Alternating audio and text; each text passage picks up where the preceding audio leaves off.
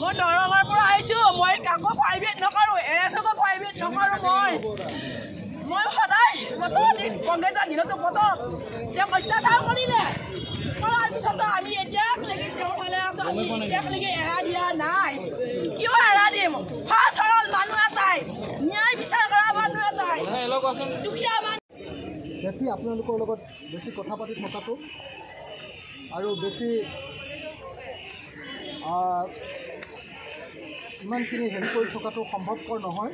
মই সকলোকে আকৌ এবাৰ নমস্কাৰ জনাইছোঁ আৰু সদায় আপোনালোকক পাম বুলি আৰু আপোনালোকেও সদায় ৰাইজৰ পক্ষত থাকিব বুলি। আৰু কেতিয়াও বিজেপি আৰ এছ এছ বা অন্য কোনো দলৰ কোনো মানুহৰ কোনো চৰকাৰৰ নিচা প্ৰলোভনত কেতিয়াও ভুল নাযাব বুলি আৰু ভয়ত কেতিয়াও তেওঁলোকৰ পক্ষ নল'ব বুলি আশা কৰি মই মোৰ বক্তব্য সামৰণি মাৰিছোঁ। ধন্যবাদ। জয় আই অসম ইনকলাব জিন্দাবাদ।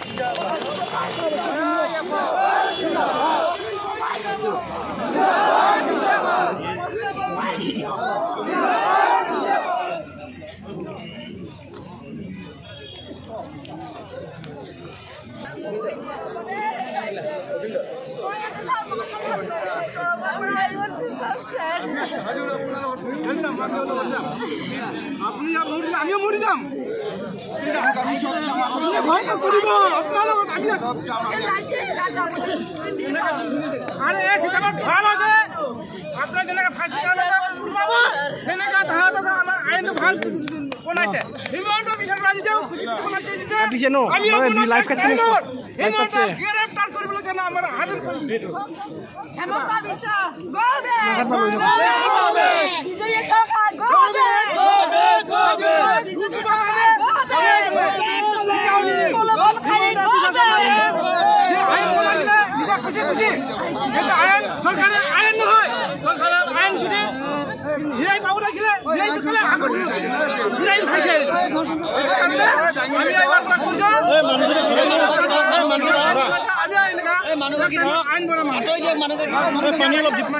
পানী দি দিয়ক পানী দি দিয়ক। মানুহগৰাকীক নে। ল'ৰা কেইটামান মানুহজনক পানী।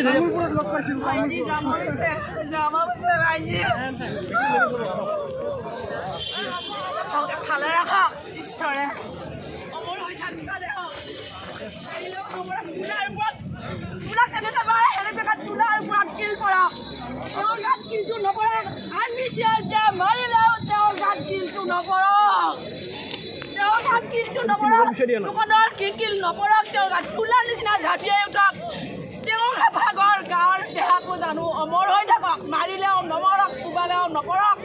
ঠিক তেনেকুৱাকৈ থাকক আমি ভগৱানৰ ফালে চাই পেলাই কি কৈছোঁ গোটেইবিলাকে চব ৰাইজে কৈছোঁ আমি তেওঁ অমৰ হৈ থাকক। তেওঁক মাৰিলেও নমৰক।